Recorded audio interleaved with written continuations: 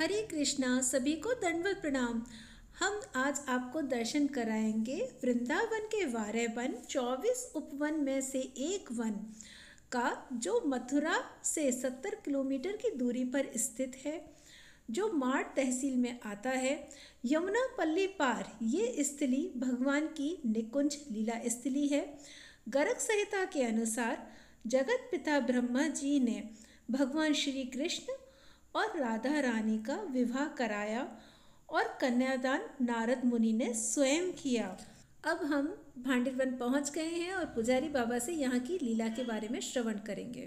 जब भगवान ने अवतार दिया और गाय चराने को आए तो पहले दिन यही आई जब भगवान गाय चराने को आते थे तो कंस जो नई नई राक्षस भगवान को मारने को भेजता था। कंस ने बच्चा तो नाम का राक्षस भगवान को मारने को भेजा। बच्चा सब जो है, गाय का बछड़ा बन के भगवान की गाय में मिल गए हो तो भगवान ने वहाँ को मार दिया। सखा बोले कन्हैया तेरा बछड़ा मार दू तो हत्या रह रहे हुए भगवान बोले तो मैं क्या करूँ? कि तुझे सभी तीर्थ में स्नान सबके सामने सुबह भगवान ने बंसी से प्रकट किया उसमें विराजमान हुए। सभी तीर्थ ने अपना रूप करके भगवान को स्नान कराया तो इस कुएँ में सभी तीर्थ का जल जब भी सोमवती अमावस्या होती है इस कुएँ का पानी सफ़ेद हो जाता है। जिन औरतों के बच्चे नहीं होते हो घर खंडित हो जाते हो, संतान नहीं होती हो। यहाँ स्नान कर मंदिर मनोकामना बोले तो संतान की प्राप्ति होती है। दूसरी लीला राधा कृष्ण विवाह की। राधा कृष्ण विवाह की लीला की ज़्यादातर भक्तों को पता नहीं है कि राधा कृष्ण का विवाह हुआ पता क्यों नहीं? भागवत सुनते भागवत इस बात का कोई उल्लेख नहीं आता है। आता भी है तो उसे कोई भागवताचार बता के नहीं देता।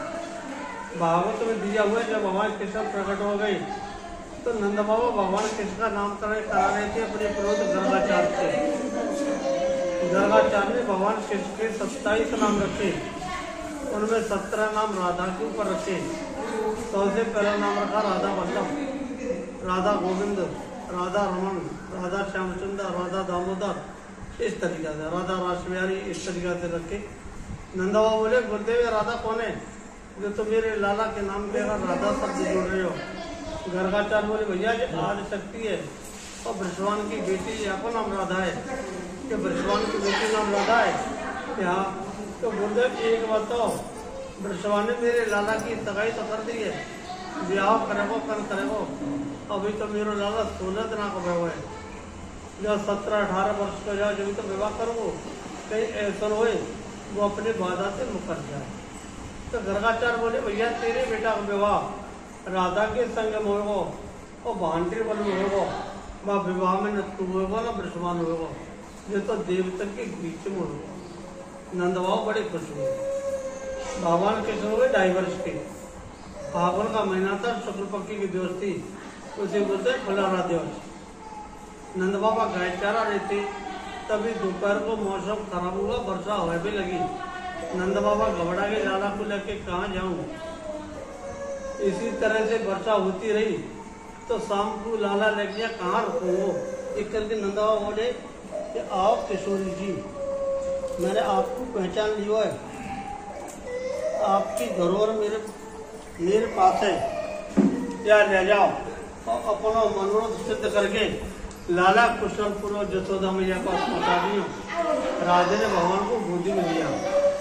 गोदी में लेकर के यहाँ आई यहाँ आते ही मंडप प्रकट भयो जहाँ में हज़ार खम्बा लगे हुए हैं। रत्न मणि सुशोभित है। बीच में एक सिंहासन बने हुए है। सिंहासन पर चढ़ने के लिए सात सिद्धि लगी हुई है। राधा कृष्ण को सिंहासन में बिठा तभी ब्रह्मा जी आ गए। ब्रह्मा जी राधा कृष्ण से पूजा कराने का लगा लगा दिया। जिस टाइम में ब्रह्मा जी पूजा करा रहे थे तो भगवान ने अपनी बंशी को अपने पास में रख लिया। उस बंशी को राधे जी ने चुरा लिया। सभी देवता गए। मंडप को चारों तरफ़ से घेर रहे हो। मंडप की शोभा और बढ़ गई। हमारे यहाँ हिंदू रीति में आदिकाल प्रथा है, जो लड़का लड़की मंडप के नीचे बैठे होते वहाँ से चोरी होती है। क्या चोरी होती है? और चुराता कौन है? तो राधे जी की कोई बहन नहीं थी, जो चोरी करती। और भगवान ने ग्यारह वर्ष तो जूता पहने नहीं। जब जूता नहीं पहने तो जूता चोरी होती कैसे? राधे ने बंशी को चुरा लिया ब्रह्मा जी ने कन्यादान किया, यज्ञ कराया, फिर कराए लास्ट में क्रिया होती है, लड़की के मांग में सिंदूर भरने की। जब तक लड़की के मांग में सिंदूर नहीं भरा जाता, विवाह मान्य नहीं होता है। तो ब्रह्मा जी बोले, प्रभु, राधे जी की मांग में सिंदूर भरो। भगवान ने राधे जी की मांग में सिंदूर भरा। सिंदूर भरते मंडप रूप हो गया, ब्रह्मा जी रूप हो गए, देवता रूप हो गए। राधा कृष्ण अकेले रह गए। तभी भगवान कृष्ण प्रबालक हो गए। वहाँ टूनते चलने लगे। राधे जी रोने लगे कि प्रभु या कौन सी लीला मैं तो आपके इस को नहीं सह पाऊँगी। अभी तो आपने मेरे संग व्यवहार रचाया था। मैं एक करोड़ा बचता हूँ, तुम जो बाल्य अवस्था में हो। हमारा तुम्हारा निर्वाह कैसे होगा? तभी आकाशवाणी हुई। आकाशवाणी द्वारा भगवान बने राधे, ये भांटिर बना, हमारा तुम्हारा निकुंज बने। हमारी तुम्हारी कुंजन की लीला यही हुई है। अब भी तुम्हारा छाया रूप तो बरसाने में महलों में रहेगा, और दिव्य रूप से हमेशा यही निवास करोगी। मैं आपसे मिलने के लिए यही इतनी सुन के राधे बहुत खुश हुई। और भगवान कृष्ण को बच्ची को लेके जैसे नंद बाबा को बच्चन दे के आई थी कि लाला को कुशल पूर्वक जसोदा मैया पास पहुँचा दूँगी, लेकर के नंदलाल यशोदा मैया पास पहुँची। सबसे मुख्य लीला एक दिन की बात है भगवान और राधे किसी पेड़ के नीचे बैठे हुए थे। तो भगवान बोले राधे से राधे, जो भैया भांटी बन जो हमारे तुम्हारा निकुंज बने हमारी तुम्हारी कुंजन की लीला है। राधे बोली क्या हुई है कि आज आप के ऊपर इतना प्रश्न हूँ, जो भक्ति यहाँ पे हो, और इस कुएँ का आचमन करेगा, उसे चौदह अवतार के दर्शन को फल प्राप्त होगा। जो स्नान करेगा वो जाने, अनजाने पापन की मुक्ति पाएगा जो अपनी मनोकामना बोले हो तो उसकी मैं मनोकामना पूरी करूँगा। जो भक्त एक रात्रि निवास करेगा सुबह को स्नान करे करेगा भांडी बिहारी के दर्शन करेगा वो गोलोक की प्राप्ति करेगा या बैठ के कोई चीज़ खाएगा हो तो इंद्र लोक की प्राप्ति करेगा तो जो गौदान करेगा, उसकी तिहत्तर पीढ़ी का उद्धार होगा। इतने सुन के राजे जी बोले, प्रभु, आपने मोटी वीडियो इतना होने पर क्या भक्तों की इतनी भीड़ हो जाएगी? कि चौबीसों घंटा रहेंगे। हमारे तुम्हारे बच्चे बाधा पड़ जाएगी भगवान बोले, राधे गोपनियम या फिर गुप्त वृंदावन है। यहाँ की लीला गुप्त है। या मन को प्रकाश में नहीं लाऊँगा। जब भक्त कई बार पूरे ब्रज में घूम जाएगा, तब उसके ऊपर कृपा करूँगा कि तू भांडवन में हर भक्त को भांडवन में नहीं आना। तो जिसके ऊपर विशेष कृपा होती है, वही भक्त यहाँ आता है, हर एक नहीं आता है। यहाँ के मुख्य जिला बिहारी की जय। पुजारी बाबा से कथा श्रवण करने के बाद में हम दर्शन करते हैं तो भांडे बिहारी के दर्शन करिए। ये एकमात्र मंदिर है जहाँ पर भगवान श्री कृष्ण श्रीमती राधा रानी की मांग भर रहे हैं। विवाह होता है तो ये सिंदूरदान जो एक रस्म है वो होती है। और इसके बाद में जब आप मंदिर की परिक्रमा करेंगे तो आपको वहाँ जो विवाह मंडप भी दिखाई देगा, साथ में जो विवाह के साथ हथलोई वाला जो एक रस्म होती है तो यहाँ ब्रह्मा जी बस वही रस्म की लीला चल रही है।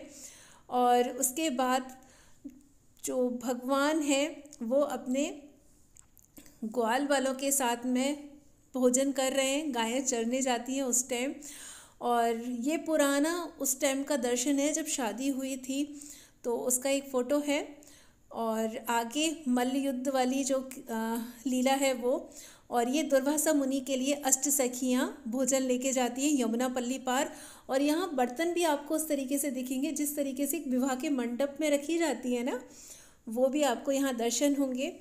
ये दर्शन करने के बाद सामने ही जस्ट स्थित है दिव्य कूप, जिसके बारे में पुजारी बाबा हमें बता रहे थे तो उसके भी दर्शन करेंगे।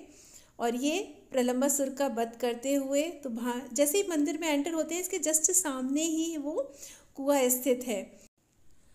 इस कुएँ में आपको पता है संभवती अमावस्या जब आती है क्षीर सागर का आगमन होता है, जल दूध में बदल जाता है।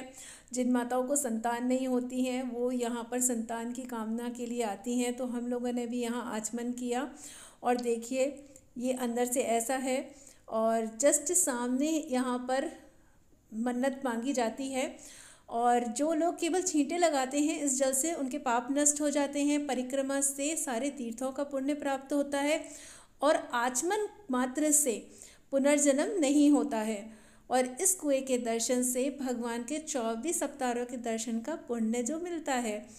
तो हम सबने यहाँ आचमन किया, प्रभु जी ने जल निकाला और फिर उन्होंने बताया क्योंकि ये सारी लीला प्रभु जी ने ही हमें बताई थी कि किस तरीके से करते हैं। तो इसीलिए सीनियर का होना बहुत ज़रूरी है साथ में और आचमन करने के बाद यहाँ हमने भगवान श्री कृष्ण के विवाह का जो मुकुट है उसके दर्शन करे और आपको ये जो गोबर का वो दिख रहा है ना स्वास्तिक तो जो माता के संतान नहीं होती है, वो यहाँ संतान प्राप्ति के लिए सोमवती अमावस्या को आए और स्नान करें और स्वास्तिक बनाएँ। गाय के गोबर से आपकी मनोकामना श्रीमती राधा रानी पूरी करेंगे। और आगे हम प्रलम्बासुर पदलीला पुजारी बाबा से श्रवण करते हैं। भांडीर वन में बलराम जी ने प्रलम्बासुर का उद्धार किया। है प्रलम्बासुर को मारा है। उसका उद्धार करने के लिए एक बार भगवान कृष्ण, बलराम दोनों आँख मिचौनी खेल खेल रहे थे। उसी समय प्रलम्ब आया है और प्रलम्ब ने जो है आग्रह किया है। तो भगवान मना करने लगे, भाई, हम अपरिचित आदमी को शामिल नहीं किया करते हैं। तो बलराम जी ने कहा, कोई बात नहीं है हम कर लेते हैं, लेकिन हमारी शर्त इसको मंजूर होगी तब। उन्होंने क्या शर्त है? शर्त ये है कि यहाँ जिस किसी की खेल में पार्टी हार जाएगी, बाजू हार जाएगा उसे यहाँ से पिद्दी पे ले जाना है और पिद्दी पे यहाँ से छोड़ना है। बीच में हार जाता है तो उसमें स्वा मुक्का प्रहार करेंगे और मुक्का दे करके फिर भी उसे यहाँ से ले जाना और लाना। ये हमारा कार्य है। अगर इस शर्त को मंजूर हो तो खेलने लगे। तो उन्होंने कहा, ठीक है, मैं मंजूर करता हूँ। तो बलराम जी की पार्टी में न रह करके कृष्ण की पार्टी में वह जो प्रलम्ब था, वो रहा। और खेलते खेलते दोनों की पार्टी में बलराम जी की पार्टी जीत गई। कृष्ण की पार्टी हार गई। हारी हुई पार्टी, जीती हुई पार्टी को पिद्दी पे लाद करके, पीठ पे लाद करके जो है ले जाती है। बंसीवर तक ले जाती है बंसीवर से फिर वापस होने लगे, लेकिन जो प्रलम्ब था, वो दाऊ जी को लेकर के आगे बढ़ने लगा। और बढ़ते हुए दाऊ जी ने कहा, भाई, कहाँ ले जाता है? तो उसने अपना असुर रूप बना लिया। दाऊ जी ने भी पता आकार बढ़ाया है कि उस पर सहन नहीं हुआ। तो बढ़ाते समय उनका यहाँ पे स्वरूप जो है काला हो गया है, नेत्र लाल हो गए हैं। दाऊ जी ने मुख का प्रहार किया है। मुक्के के प्रहार से उसके प्राण निकल गए। प्राण निकल करके यहाँ पे है दाऊ जी ने जब ग्वाल बाल कहने लगे कि दोषी हो गए, तुम दोषी हो। उन्होंने कहा, दोष नहीं है भाई, अब तो ग्वाल बाल को नहीं मारा है, असुर को मारा है। तो ग्वाल बाल कहने लगे, नहीं, आप दोषी हैं। हमारी गाय बछड़ो, अलग रखो, हम कल से तुम्हारे साथ में भोजन नहीं करेंगे। क्योंकि यहाँ रोज़ाना का नियम था सुबह लाते थे और दोपहर को अपना गोल बना करके सभी भोजन किया करते थे। और गाय, बछड़े सभी साथ में चढ़ते थे। तो जब भगवान ने कहा भाई इसका दोष कैसे दूर किया जाए? तो सभी तीर्थों के लिए जाया जाए। सभी ग्वाल वालों ने कहा। है तो ग्वाल वाल जो कहने पर भगवान कहने लगे, भाई, मैं यहीं पे बुला लेता हूँ। सब अपना शरीर रूप लेकर के आएँगे और सभी अपने साथ में जल लाएँगे। तो उन्होंने कहा, ठीक है, हम देख सकें। तो भगवान ने यहाँ पे हल से जो गड्ढा खोदा है, चुई है इसमें अंदर। इसमें जो भगवान बैठे हैं तो इसमें से जो है दूध की धार निकली है। जभी से आज भी सोमवती मावस्या को दूध की धार निकलती है। यह वही बट वृक्ष है। इसी मंडप में विवाह संपन्न हुआ था। तो आप मंडप के दर्शन करिए। ये हवन कुंड है और आज भी बना हुआ है मंडप। आप आएँगे तो आपको यहाँ बहुत अच्छा लगेगा। और कहते हैं, यहाँ वही आते हैं जो भगवान श्री कृष्ण और श्रीमती राधा रानी के विवाह में किसी न किसी रूप में वहाँ मौजूद थे। तो बोलते हैं कि यदि आप दस बार वृंदावन आ जाओगे, तब जाके आपके ऊपर कृपा होगी भांडेर वन आने के लिए। और सामने आपको हम दर्शन कराते हैं भगवान श्री चैतन्य महाप्रभु के चरणों का। तो आप दर्शन करिए, हमने परिक्रमा भी की। यहाँ जब आप आओगे तो आपको बहुत ही शांति का अनुभव होगा और वही जो पुराना वृंदावन वाला फील आपको यहाँ मिलेगा और कितना सुंदर है। मैं आपको पूरा एक बार घुमा के दर्शन कराती हूँ। देखिए, ये कुछ इस तरीके से है। और यहाँ पर मैंने एक क्वेश्चन प्रभु जी से पूछा था कि प्रभु जी, क्या ये हमारी छुटकी माता जी गौरांगी भगवान की जो विवाह उसमें सम्मिलित थी और इन पर इतनी जल्दी कृपा कैसे हो गई? तो प्रभु जी ने कहा कि इनकी भक्ति बहुत ही ऊँचे लेवल पर छूटी होगी, इसीलिए इनका जो खाता है ना, वो इतने बचपन से स्टार्ट हो गया है। और हम जो यहाँ जितना भी धन दौलत कमा रहे हैं ना, वो सब यहीं रह जाना है। हमारे साथ बस यही बैंक बैलेंस जाएगा हरी नाम का। तो हम लोग फिर उसके बाद में दर्शन किए, आराम से चैंटिंग की और फिर जाते हैं मधुकरी के लिए। तो यहाँ पर जब हम जा ही रहे थे तो पुजारी जो हैं, उन्होंने गौरांगी माता जी को भगवान की जो माला है, वो दी। तो मतलब हम कह रहे थे कि देखिए, कितनी कृपा है छोटे से भक्त पर, कितने खुश हो रहे हैं भगवान। और साथ में हम लोगों ने फ़ोटो क्योंकि याद रहे कि हम लोग सभी साथ गए थे। डिवोटी एसोसिएशन के बिना पॉसिबल नहीं है और यहाँ पर हम लोगों ने मधुकरी की। तो माता जी ने छाछ, रोटी, अचार और साथ में ये माता जी इतनी अच्छी हैं, इन्होंने कहा, जब भी आओ, मेरा घर बगल में है, मैं यहाँ ना मिलूँ तो मुझसे मिल के जाना। और फिर उन्होंने अपना नंबर भी दिया कि कभी डिवोटी बहुत सारे आए तो मुझे पहले ही बता देना मैं मधुकरी का। व्यवस्था करके रखूँगी। और आप भरपेट भी पा सकते हो।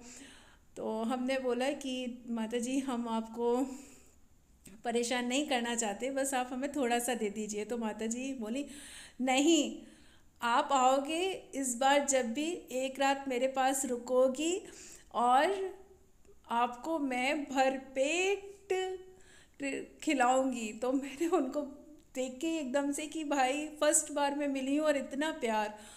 तो सब लोगों ने यहाँ पर छाछ ली और रोटी थी, सब्ज़ी थी तो सभी लोगों ने मधुकरी की और सब बहुत खुश थे कि कभी किसी के पास जाते हैं, रिलेटिव के पास, कोई नहीं पूछता है। आज का टाइम ऐसा हो गया है कि कोई ध्यान ही नहीं नहीं रखता है। ठीक है, आए हैं, फॉर्मेलिटी है, थोड़ा सा चाय वाय कराओ और भगा दो, लेकिन ब्रजवासियों का प्यार तो आपको तभी मिलेगा जब आप ब्रज में जाएँगे। और जैसे ही हम लोग वहाँ से निकल रहे थे तो ये जो नन्हे मुन्ने बालक हैं, इन्होंने पकड़ लिया और बोला, दीदी, ऐसे नहीं जाओगी, कुछ ना कुछ तो दिला के जाओ ना।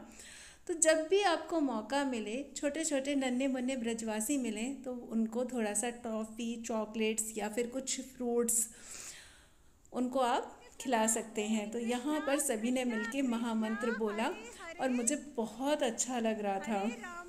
सबसे नाम पूछे और कहा, अगली बार आऊँगी तो आपके लिए अपने हाथों से ज़रूर कुछ बना के लाऊँगी। तो बस उस दिन का मुझे वापस से इंतज़ार है कि कब मैं जाऊँ और ब्रजवासियों ने इतना भर के प्रसाद, आप देखिए।